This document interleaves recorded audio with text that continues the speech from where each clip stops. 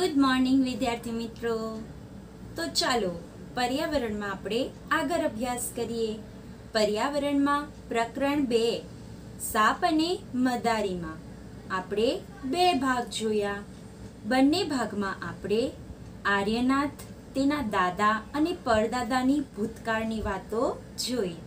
તો આ વિડીયોમાં આપણે સાપ વિશે અને એવા પાલતુ પ્રાણીઓ વિશે પણ માહિતી મેળવીશું.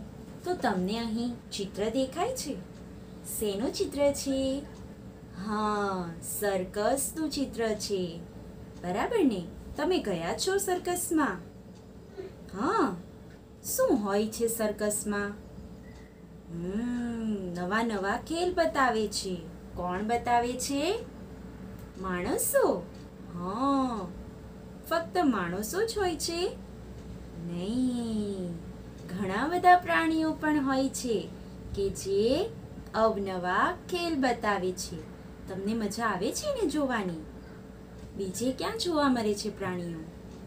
હા, આપણે જોઈએ છીએ કે રોડ પર કે કોઈ ગાર્ડનમાં પ્રાણીઓ નવા નવા ખેલ બતાવે છે. તો શું પ્રાણીઓ જાતે જ શીખ્યા હોય છે નવા નવા ખેલ? નહીં. માણસોએ તેઓને ટ્રેન કર્યા હોય છે. તેથી તેઓ ટ્રેન થઈને આપણને નવા નવા ખેલ બતાવે છે અને આપણું મનોરંજન પૂરું પાડે છે. તો સર્કસમાં આપણે જોઈએ છીએ કે ઘણા બધા પ્રાણીઓ ખેલ બતાવે છે. જેમ કે રીંછ, સિંહ, વાઘ, હાથી, કૂતરો, ઘોડો તો આટલા બધા પ્રાણીઓ કેવા સરસ મજાના ખેલ બતાવે છે? બતાવે છે ને? તમે જોયા છે ને? હવે આપણે જોયું ને કે પ્રાણીઓને ટ્રેન કરવામાં આવે છે. હવે ટ્રેનિંગ કોણ આપે છે? માણસો. તો માણસો પ્રાણીઓને ટ્રેન કરે છે. પરંતુ એ ટ્રેનિંગમાં તેઓ સાથે કેવો વ્યવહાર કરતા હશે? તો તમે વિચાર કરો. કે પ્રાણીઓ સાથે કેવો વ્યવહાર કરતા હશે? કારણ કે પ્રાણીઓ તો બોલી પણ નથી શકતા. તેઓ પોતાનું દુઃખ વ્યક્ત નથી કરી શકતા. તો તેઓ શું કરતા હશે? અને માણસો તેઓનો લાભ ઉઠાવતા હશે અને કેવો વ્યવહાર કરતા હશે? હા, તેઓને સોતી વરે મારતા હોય છે. આપણે સર્કસમાં પણ જોઈએ છીએ કે જ્યારે કોઈ ખેલ બતાવવાનું સ્ટાર્ટ કરવાનું હોય ત્યારે તે પ્રાણીના ટ્રેનર પાસે એક સોતી હોય છે કે તેના દ્વારા તે તેને મારે છે અને ખેલ બતાવડાવે છે. તો આ રીતનો વ્યવહાર જો આપણી સામે કરતા હોય, તો તેઓ પ્રાણીઓ સાથે કેવી રીતે વર્તતા હશે? તો આનો વિચાર આપણે કરવાનો છે. તમને કંઈ ખબર પડે તો મને કહેજો.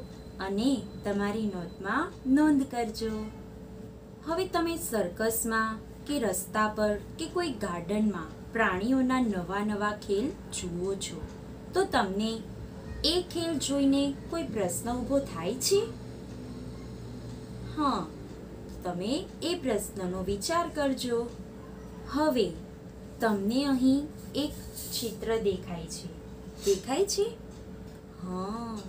પાંજરામાં એક પ્રાણી પુરાયેલું છે. હવે તમે અહીં પાંજરામાં એ પ્રાણીને જુઓ છો. અને એ પ્રાણી કયું છે? હા, સિંહ છે. તો જો સિંહ જેવો ભયાનક પ્રાણી કે જંગલી પ્રાણી પાંજરામાં પુરાયું છે, તો એને કેટલું દુઃખ થતું હશે? હવે તમે વિચાર કરો, જો આપણને પાંજરામાં પૂરી દેવામાં આવે તો? આપણે રહી શકીએ પાંજરામાં? તો આપણને શું થાય? ચાલો, આપણે તેનો થોડો વિચાર કરીએ. તો મારા મત અનુસાર, હું થોડા વાક્યો વિચારું છું. કે જો હું પાંજરામાં હોઉં, તો? તો હું ડરું છું. કેમ? કારણ કે પાંજરામાં પ્રાણીઓને પૂરવામાં આવે છે. અને જો આપણને પૂરે, તો આપણને બીક તો લાગે ને? તમને લાગે બીક? વિચારજો, મને તો બહુ બીક લાગે. ત્યાર પછી હું ઈચ્છું છું, હવે હું અહીં મારી ઈચ્છા વ્યક્ત કરીશ. તમારી જે ઈચ્છા હોય તે તમે કહેજો. મારી ઈચ્છા એવી હોય ત્યારે કે હું ક્યારે આ પાંજરામાંથી બહાર નીકળું અને ક્યારે આ દુનિયા સારી રીતે જોઈ શકું. જ્યારે મને પાંજરામાં પૂરવામાં આવે તો હું તો બહુ દુઃખી થાઉં. કારણ કે મને પાંજરામાં પુરાવું નથી ગમતું. મને બહાર ઉડવાનું ગમે, મને બહાર ફરવાનું ગમે છે. નવી નવી વસ્તુ ખાવાની ગમે.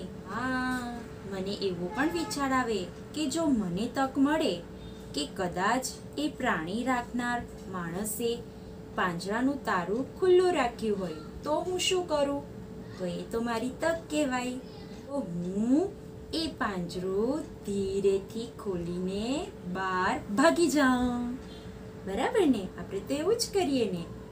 હા, તમે શું કરશો? તમે વિચારજો. અને હા, બીજું શું વિચારું છું ખબર છે? હું તો મારી જાતને તે પાંજરામાં રાખીને વિચાર કર્યો છે. પણ મને તો એવું લાગે છે કે ક્યારેય કોઈ પ્રાણી પર અત્યાચાર ન કરવો જોઈએ. ફક્ત પ્રાણી જ નહીં, પક્ષી હોય કે ગમે તે જીવ હોય, તેને આપણે બંધનમાં રાખવું જોઈએ નહીં. હંમેશા આપણે તેને મુક્ત રીતે હરવા ફરવા દેવું જોઈએ, કારણ કે દરેકને પોતાનો જીવ હોય છે, દરેકને પોતાની ઈચ્છા હોય છે, માટે ફક્ત મનુષ્ય જ પોતાની ઈચ્છા પૂરી કરે એ જરૂરી નથી. પ્રાણીઓને પણ પોતાની ઈચ્છા હોય છે. પ્રાણીઓને પણ પોતાના ગોલ હોય છે. બરાબર ને? તમારું પણ કોઈ ગોલ હશે ને? અને જો તમે એ ગોલ સુધી પહોંચવાનો પ્રયત્ન કરો છો અને અચાનક તમને કોઈ મુશ્કેલી નડે, તો તમે નિરાશ થઈ જાઓ ને. તો આ પ્રાણી પણ એવો જ છે. શું કરવા એની ઉપર અત્યાચાર કરવો પડે? માટે તમે જ્યાં પણ આ રીતનું વાતાવરણ જુઓ, તો તમે તે પ્રાણીને મદદ કરવાનો પ્રયત્ન કરજો. બરાબર ને? તો હવે આપણે આગળ વધીએ અને હવે આપણે જોઈએ સાપ વિશે વધારે માહિતી. તમને ખબર છે કે દરેક પ્રાણીઓની અલગ અલગ જાતિ હોય છે. શું સાપ માત્ર એક જ પ્રકારના હોય છે. પક્ષીઓ માત્ર એક જ પ્રકારના હોય. કૂતરાઓ માત્ર એક જ પ્રકારના હોય. ના. ઘણા બધા પ્રાણીઓ એવા હોય છે કે જે અલગ અલગ જાતિઓમાં જોવા મળે છે. તો આજે આપણે અહીં સાપની એવી અલગ અલગ જાતિનો પરિચય મેળવીએ. તો તેનો પરિચય આપણે ચિત્રો દ્વારા લઈએ. અહીં તમે જોઈ શકો છો કે સાપના પણ કેટલા બધા પ્રકાર હોય છે? જુઓ, આપણે તેના ચિત્રો જોઈએ.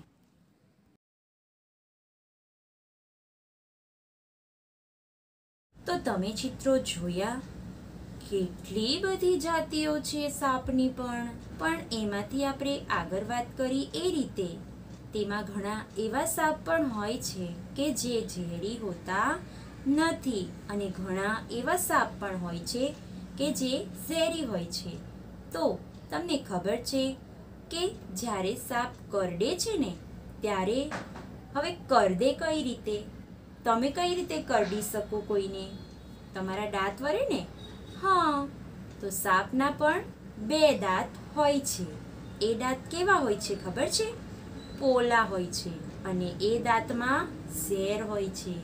તેને કારણે સાપ માણસને કરડે તો એ ઝેર તેના શરીરમાં પ્રવેશે છે. હવે, કોઈ પણ બીમારી હોય તો એની દવા પણ હોય જ છે. હોય છે ને? તો સાપ કરદ્યા પછી તેની પણ દવા હોય છે. તેની દવા ખબર છે શેમાંથી બનાવવામાં આવે છે? હા, સાપના ઝેરમાંથી જ તેની દવા બનાવવામાં આવે છે. અને સાપ કરદિયાની દવા સરકારી દવાખાનામાં મળે છે. તો અહીં તમને થોડા ચિત્રો બતાવું કે જેમાં સાપનું ઝેર ક્યાં હોય છે, કઈ રીતે હોય છે.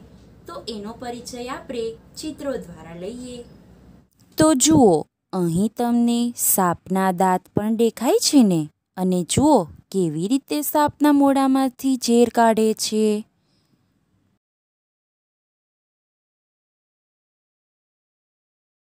તો તમે જોયું ને કે કઈ રીતે સાપનો ઝેર હોય છે? તમને માહિતી મળી ને?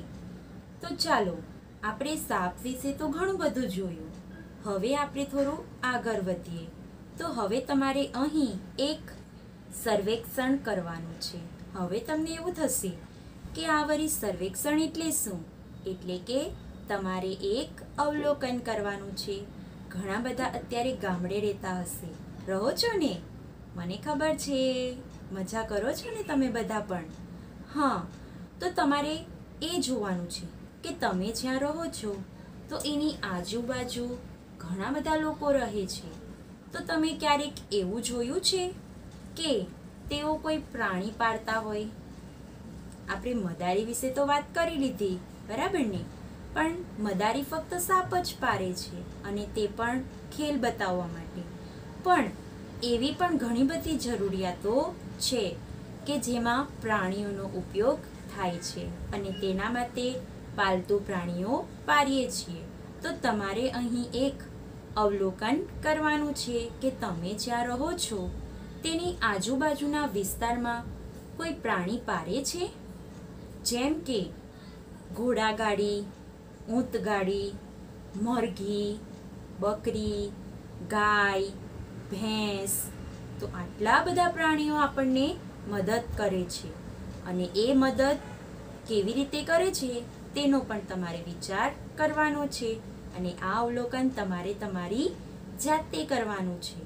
જેમ કે ગાય ભેંસ તો આપણને દૂધ આપે છે, મરઘી, ઈંડા આપે છે, ત્યાર પછી ઘોડાગાડી તો એ સવારી માટે ઉપયોગી છે. તો એવા તો ઘણા બધા પ્રાણીઓ હોય છે. હોય છે ને? તમે જોયા છે ને? હા, તમને અવલોકન કરવામાં સરળતા પડે. તે માટે હું એક સ્લાઇડ મૂકીશ. તમારે કયા કયા પ્રશ્નોનું અવલોકન કરવાનું છે તેની માહિતી લખીશ. જેથી તમે તે પ્રશ્નો પ્રમાણે તમારું અવલોકન સરળતાથી કરી શકો. તમારે આ પ્રશ્નો અનુસાર અવલોકન કરવાનું છે. Best of luck. તો ફરી મળીશું પ્રકરણ ત્રણ સાથે. બાય